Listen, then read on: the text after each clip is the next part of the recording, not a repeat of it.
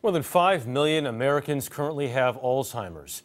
That number is expected to increase dramatically in the decades ahead.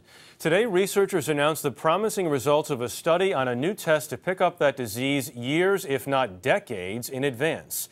And they're looking for the signs in an unusual place, the eye. Don Dahler has more. These bright dots are proteins called beta amyloids, visible in the retina of a patient diagnosed with Alzheimer's disease. Beta amyloids are typically found in the brain and have been known to be linked to Alzheimer's.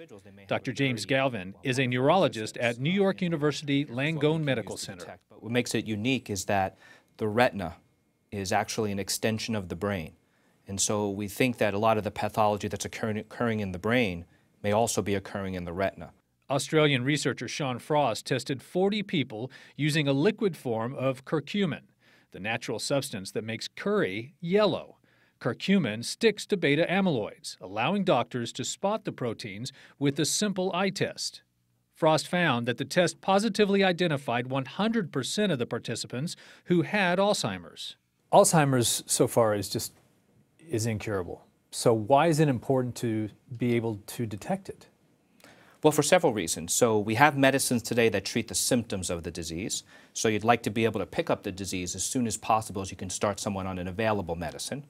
But more importantly, in order to develop new therapies, we need to be able to identify people at the earliest possible stages.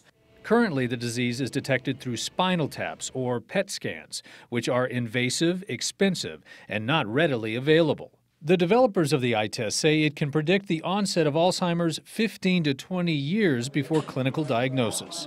The full study involving 200 subjects is expected to be completed later this year. Don Dahler, CBS News, New York.